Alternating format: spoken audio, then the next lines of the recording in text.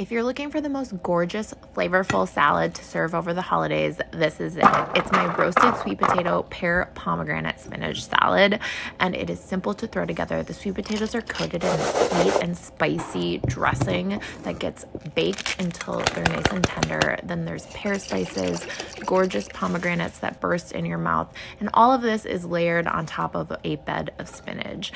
And then, of course, there's some nuts for a little crunch.